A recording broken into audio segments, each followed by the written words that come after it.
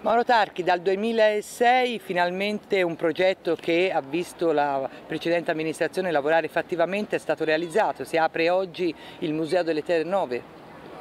Sì, è una soddisfazione, una idea che nasceva prima di me, che ha preso consistenza ed opportunità realizzativa durante gli anni del 2006-2007 e oggi trova il suo completamento in un accordo appunto finanziario con la Regione e con eh,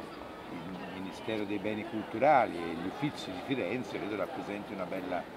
opportunità. Restituire Palazzo d'Arnolfo alla fruibilità dei suoi cittadini e al mondo della cultura e della conoscenza è uno dei fatti rilevanti, è uno dei tre fatti che possono rendere e riportare San Giovanni a un buon livello culturale insieme alla Casa del Fascio e al teatro. Erano i punti fondanti, uno si realizza, si realizza nello specifico delle terre nuove e delle città murate, credo sia una prima esperienza sicuramente assoluta in Toscana ma che ha la capacità di parlare all'intera Europa. Quindi una bella cosa per San Giovanni, per i San Giovannesi, una bella cosa per la storia e lo studio di questa città e della sua architettura.